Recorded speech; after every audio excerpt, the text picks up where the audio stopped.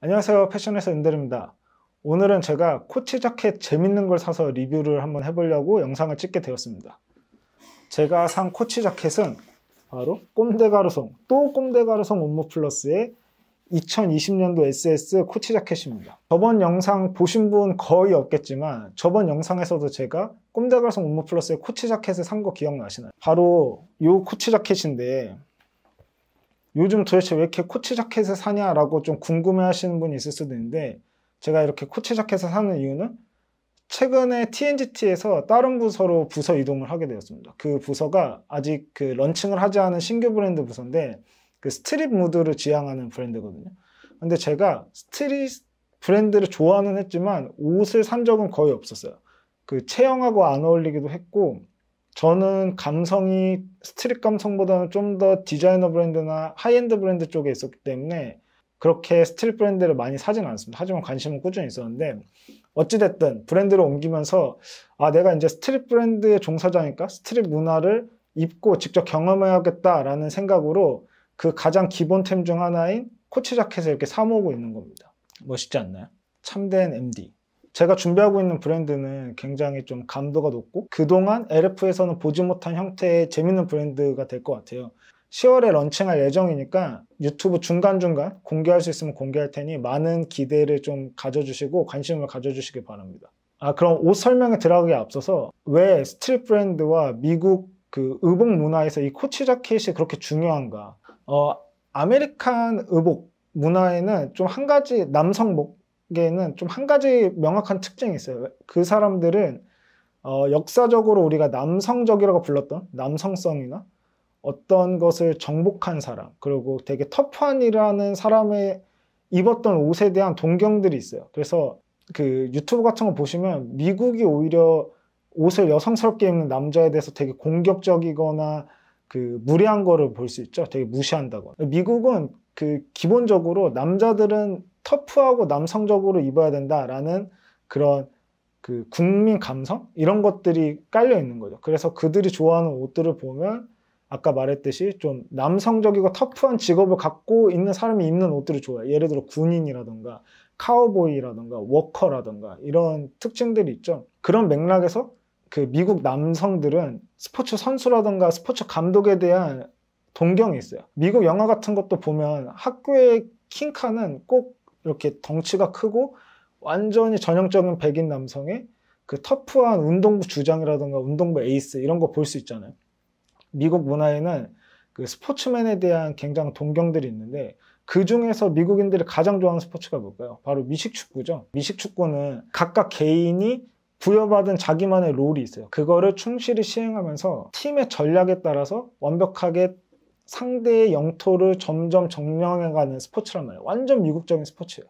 그 미식축구 코치, 그러니까 우리나라 말로 하면 감독들이 입는 자켓이 바로 이 코치 자켓이었습니다.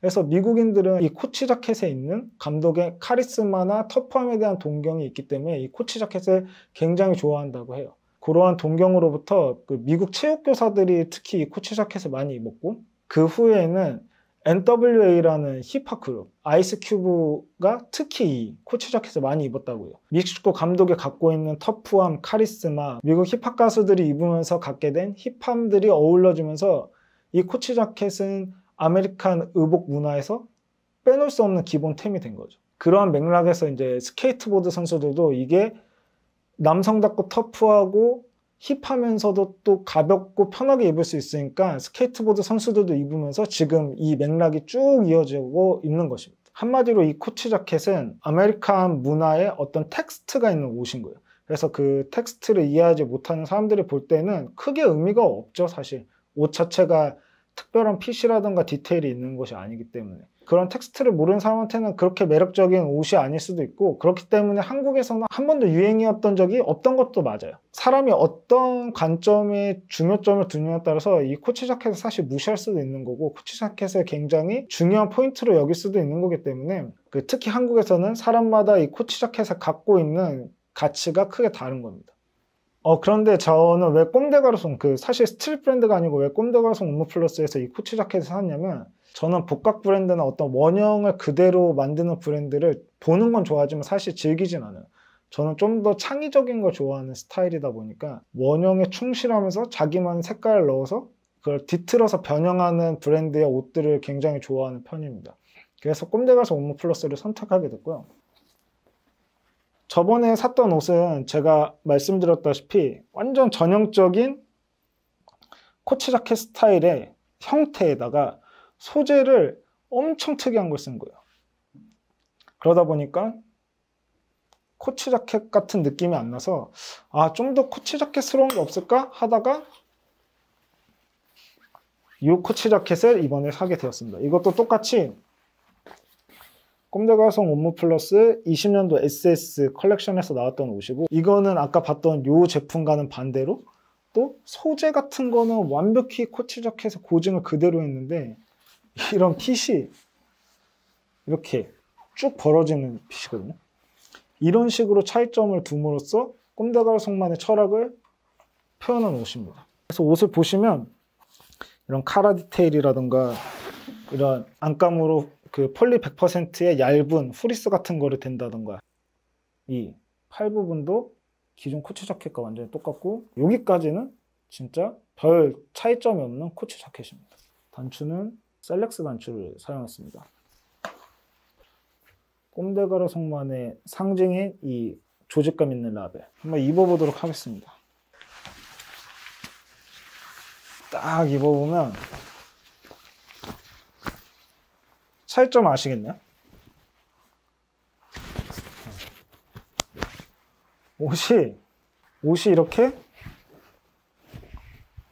벌어져 있습니다. 곡률이 이렇게 곡률이라고 하는데 곡률이 확 들어가 있죠. 연미복 같은 느낌의 코치 자켓이란 말이에요. 보면 이렇게 D가 접힙니다. 옷이 진짜 대단한 게 이런 옷을 만드는 게 쉽지가 않아요. 이거 만약에 한국 브랜드에서 만들려고 하면 패터너 분들이 못 만들게 합니다. 왜냐하면 사고 날 확률이 엄청 크거든요. 이렇게 곡률이 큰 옷들은 사고가 100% 납니다. 근데 이 좌우 곡률이 거의 완벽하고 아까 봤다시피 했을 때 여기 접히는 부분이 좌우가 거의 동일하기 때문에 입었을 때도 균형감 있게 입을 수 있 다 이런 특징이 있습니다. 그리고 또 옷을 보면서 재밌었던 점이 원래 전형적인 코치 자켓들은 이 안감을 다 박아놓거든요. 밑단을 다 박아놓는데 이거는 이제 옷이 뒤로 이렇게 넘어가는 형태죠. 이렇게 굴러서 넘어가는 형태라서 안감을 이렇게 띄워놨어요. 띄워놓고 여기 보시면 이렇게 실담으로 이렇게 하나, 둘, 셋 이렇게 그 시침을 박아놔가지고 옷이 고정되면서도 입는 거에 따라서 이렇게 따라가게 했는데 이거 되게 재밌는 포인트인 것 같아요. 저는 어, 남성복 하면서 처음 본 디테일인 것 같았어요. 그리고 그렇게 시침을 박았지만 여기 뭐, 뭐 엄청 대단한 기술은 아니죠. 어쨌든 이게 막 박는 브랜드는 그냥 여기 이렇게 시접이 튀어나오게 하는데 그런 것들을 어깨 그렇게 접히는 부분에다가 시침을 넣어가지고 그러한 포인트들이 밖으로 안 나오게 했다. 그런 것들이 아, 또 완성도를 한 번 더 감탄하게 만드는 옷이었습니다. 그리고 이런 그 하이엔드 브랜드의 코치 자켓을 삼으로써 좀 제가 느끼는 효용 같은 경우는 코치 자켓 사실 좀 편하게 입는 옷이에요. 근데 이렇게 편하게 입는 옷을 입고 팬시한 장소라던가 좋은 장소를 가기는 좀 힘들 수 있는데 어, 저는 이거를 입고 되게 고급 바나 고급 카페 같은 데 가 있는 저의 모습을 상상해 봤어요. 뭔가 편하면서도 뒤에 적혀 있는 이 글씨 때문에 편하면서도 뭔가 사람이 힙해 보이는 그런 느낌을 줄 수 있지 않을까? 약간 이런 기대도 갖고 있고요. 옷이 좀 특이하다 보니까 제가 가장 편하게 코디를 즐기는 스타일은 그냥 흰 티에 검정 슬랙스나 뭐 검정 반바지 같은 거 있고 이런 거 하나만 걸쳐도 좀 포인트가 될 수 있어서 되게 편하게 자주 입을 것 같고 아 소재 얘기를 안 했군요. 소재적인 측면은 기존의 코치 자켓하고 똑같기 때문에 100% 폴리에스테르 겉감과 100% 폴리에스테르 안감을 썼습니다. 근데 이게 제가 패션 유튜버들 많이 보니까 약간 그분들이 아, 100% 폴리면 안 좋고 100% 면이나 100% 울이면 좋다. 약간 이런 식으로 말씀을 하시는데 뭐 그게 어느 정도 맞는 것도 있는데 정답은 아닙니다. 그냥 비싼 폴리에스테르는 싼 면보다 좋아요. 사실 그리고 꼼데가성 온무 플러스는 100% 폴리에스테르가 많거든요. 근데 이게 어느 브랜드의 어느 생산지에 누가 만드는 폴리에스테르냐에 따라서 그리고 또 어떻게 만드는 폴리에스테르냐에 따라서 그 퀄리티나 가격이 정말 천차만별입니다. 그래서 무조건 폴리백은 안 좋다라고 생각하는 거는 사실 옷을 진짜 잘 즐기는 데 있어서 오히려 방해가 되는 요소일 수도 있습니다.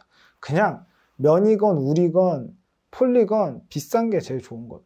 면도 진짜 싸구려부터 비싼 것부터 천차만별이거든요. 그렇게 딱 뭐 면이 무조건 폴리보다 좋다 이렇게 말할 수는 없습니다. 사실 꼼데가르송 옴므 플러스의 폴리에스테르들은 되게 좋아요. 진짜 quality가 좋고 그냥 디자이너가 자기가 표현하고 싶은 옷을 만드는데 폴리에스테르가 더 적합하다고 생각하면 그거에 맞는 퀄리티의 폴리에스테르를 사용하는 거예요. 원가에 맞춰서 소재를 고른다거나 이런 거는 무조건 아니라는 거죠. 그렇게 좀 음, 허접한 그 설명을 너무 맹신하시면 안 됩니다. 이 영상을 찍고서부터 입으려고 옷을 아껴뒀는데 뭐 지금 잠깐 입은 거로도 되게 편하고 가볍긴 해요. 그 보온도 어느 정도 되고 바람도 막아주는 것 같아가지고 에어컨 바람이 하나도 안 들어서 지금 더운데 어, 여러분들도 이번 가을에 좀 더 편하면서 멋스럽고 활동적인 옷을 구하고 싶다 이러면 꼭 이게 아니더라도 그 코치 자켓 하나 구해보시는 건 어떨까 싶네요. 참고로 저희 브랜드에선 코치 자켓이 안 나옵니다. 하지만 다음엔 나올 수도 있겠죠. 그러면 오늘은 여기까지 하고요. 다음에는 어, 더 재밌는 영상으로 찾아오도록 하겠습니다. 감사합니다.